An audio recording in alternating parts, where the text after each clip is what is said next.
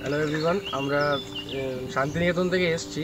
মানে দুজন মিলে ডিসাইড করছিলাম যে কোথায় যাওয়া যায়। তো ইউটিউবে দেখলাম বা গুগলে দেখলাম, তো এখান, এখানকার কথাটা জানলাম। এরকম একটা বাইকার্স ক্যাম্প হয়েছে এখানে, পুরুলিয়ার এখানটাতে। সীতারাম আশেপিঠে অনেক ঘাটশিলাও আছে, তো আমরা ফার্স্টে ওখানে পৌঁছালাম।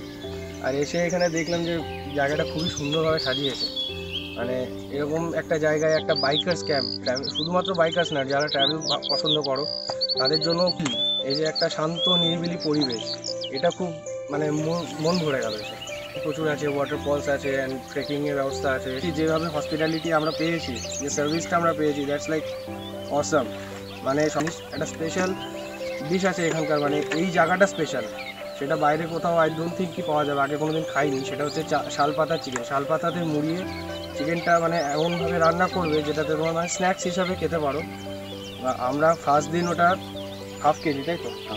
পাঁচশো গ্রাম। পাঁচশো গ্রাম আমরা অর্ডার করেছিলাম।